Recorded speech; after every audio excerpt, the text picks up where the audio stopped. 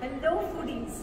So we are here at Chokidhani and uh, Naimi Bhai has come up with something really interesting. So Naimi Bhai આપણે કંઈક આમ ઇન્ડિયાનું આખું તમે લઈ આવ્યા અહીંયા Yes, a, a bit of everything available at Chokidhani. અરે વાહ something totally unique. Something very much unique, yes. ગુજરાતમાં કદાચ પહેલું હશે ગુજરાતમાં પહેલું અને રાજકોટમાં લઈ આવ્યા બધું અલગ અલગ ઝીણું ઝીણું ઘણું બધું લઈ આવ્યા છે જેમ કે નોર્થથી ચાલુ કરીએ તો દમ આલુ કશ્મીરી છે.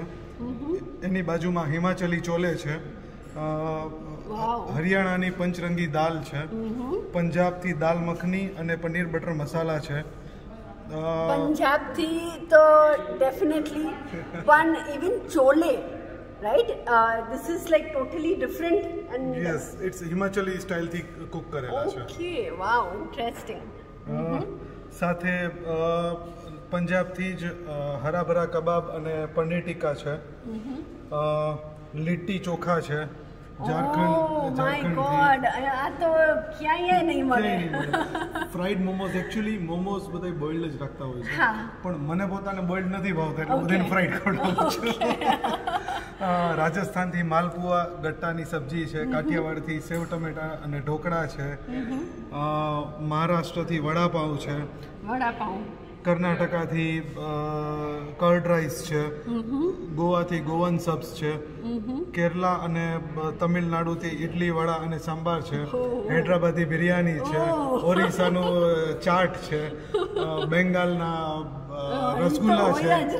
અને અને સાથે સાથે હિમાલયના ચાર માઉન્ટેન્સ છે જે. રસગુલ્લા તો ઓકે પરફેક્ટ એ તમે થોડુંક વધારે કહેશો આપ કેમ કે આઈ ડોન્ટ થિંક કે બધાને ખ્યાલ હશે લીટી ચોખા જે છે એ ઝારખંડ અને છત્તીસગઢની સ્પેશિયાલિટી આઈટમ છે ચોખામાંથી બનેલું હોય અને એની સાથેનું જે એકોમ્બિનેન્ટ છે એ રીંગણામાંથી. અને આપણે જેને દાલ બાટી ખાતા હોય આને ક્રશ કરી અને એની ઉપર દાલ નાખી એવી જ રીતે આને ક્રશ કરી એની ઉપર આનો શાક નાખીએ અને પછી એક સાથે. અને પહેલાં તો સ્વીટ્સ તો હોય જ એટલે આપણે સ્ટાર્ટ કરશું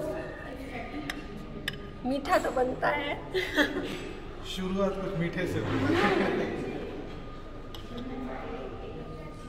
Very nice I think taste કરો નેક્સ્ટ અમે પછી બધું ચાખી અને તમને જણાવશું so but this is a very interesting concept and I am sure રાજકોટિયન્સને તો મજા આવી જશે બિલકુલ